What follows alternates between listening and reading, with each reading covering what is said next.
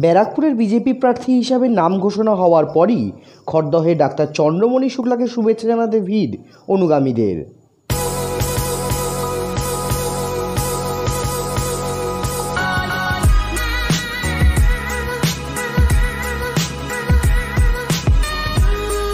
এ আর cooling এখানে সমস্ত রকমের এসি ইনস্টল, সার্ভিসিং এবং রিপেয়ারিং বাড়িতে গিয়ে করা হয়।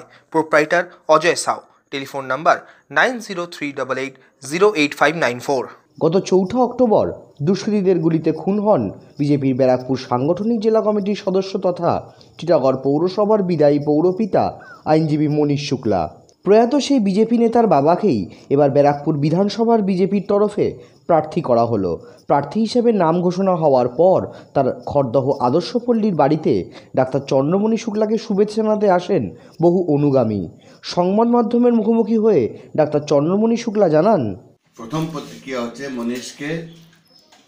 আর মনীষের যে এরকম নির্মম হত্যা হয়েছে, তার একটা ভালো বিচার করানোর জন্যই আমি রাজনীতিতে এসেছি। আমার এক নম্বর উদ্দেশ্য হচ্ছে কি মনীষকে যারা হত্যা করেছে, তাদেরকে উচিত শাস্তি দেওয়া।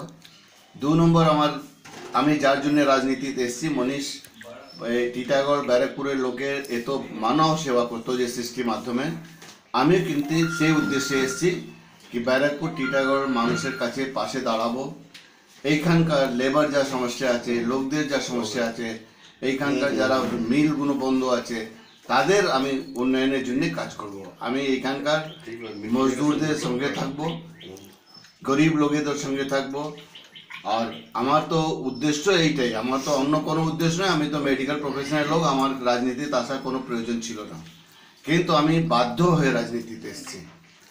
এইটা আমার কোনো ফ্যাশন নয়, এইটা আমার কিন্তু প্রয়োজন হয়ে গেছে। কারণ যে টিটাগড়ের মানুষ ব্যারাকপুরের মানুষ এত প্রেশার দিয়ে আমাকে তুলে রাজনীতিতে দাঁড় করিয়েছে তারাই এত প্রেশার দিয়েছে যার জন্যে তার জন্যে আমাকে রাজনীতিতে আসতে হয়েছে।